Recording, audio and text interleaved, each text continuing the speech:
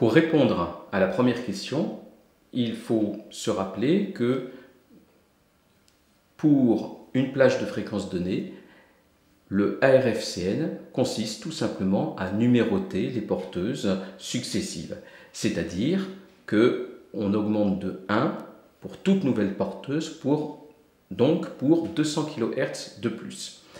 Il faut donc compter le nombre de porteuses et multiplier tout simplement par 200 kHz, soit 0,2 MHz, sans oublier que GSM est un système FDD, c'est-à-dire qu'il y a une porteuse descendante et une porteuse montante, les deux euh, allant par paire.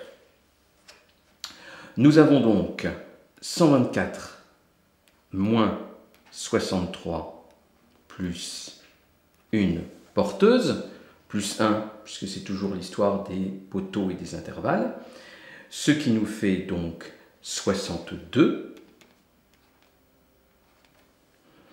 62 que nous multiplions par 0,2 et nous obtenons donc 12,4 MHz. Ceci est à multiplier par 2 comme je l'ai expliqué. La bonne réponse est donc 2 fois 12,4 MHz.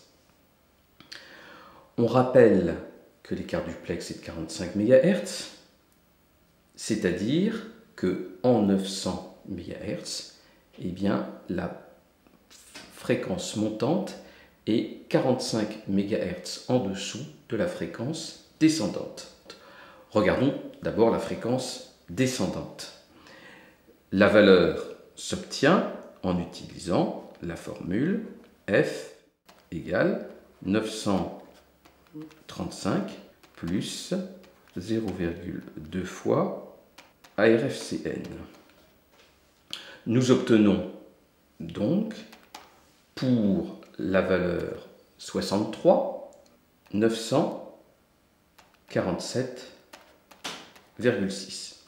Mais ça, c'est la fréquence descendante. Il faut retirer 45 MHz pour avoir la fréquence montante. Nous obtenons donc 902,6 MHz. Si on regarde le document de l'ARCEP, on peut constater que ce qui est indiqué, c'est 902,5 MHz. En effet, c'est encore une question de poteau et d'intervalle. Si je dessine l'axe des fréquences ici, la fréquence la plus basse sur la voie montante qui est utilisée, c'est 902,6 MHz. Mais étant donné qu'on a un signal modulé, on peut considérer qu'il occupe de part et d'autre 100 kHz. Dans la pratique, c'est un petit peu euh, supérieur, donc il est sur une bande de 200. Et ainsi, l'intervalle que nous trouvons, ou plus, plus, exactement la plus petite fréquence à partir de laquelle on va trouver le, signal SFR, c'est 902 MHz. C'est pour ça que dans le document, on voit 902,5 et pas 902,6. Mais la bonne réponse, c'est 902,6. Les autres réponses, celle-là correspond à la fréquence de la voie descendante, c'est donc pas la fréquence la plus faible. 45 MHz revient à l'écart duplex, mais ça n'a rien à voir avec une, valeur de fréquence utilisée. Et euh, de la même façon, 12,6 euh, ne correspond à rien.